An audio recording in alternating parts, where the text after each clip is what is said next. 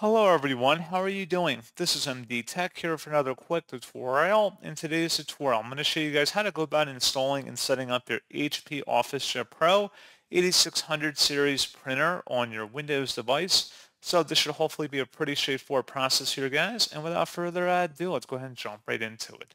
All you have to do is open up a web browser, and into Google search you want to type in HP OfficeJet Pro 8600 support go ahead and search for that.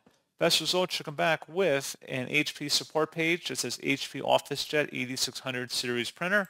Open that up. And then underneath support categories, select software and drivers.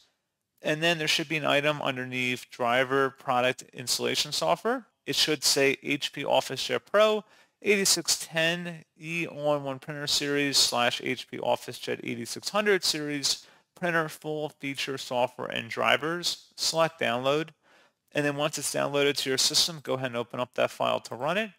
And it may take a moment to extract to your system, so please be patient.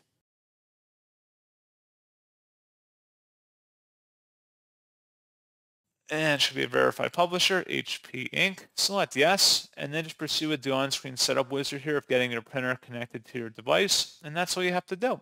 So pretty straightforward process on that, guys. And as always, thank you for watching. I do hope that I was able to help you out, and I do look forward to catching you all in the next tutorial. Goodbye.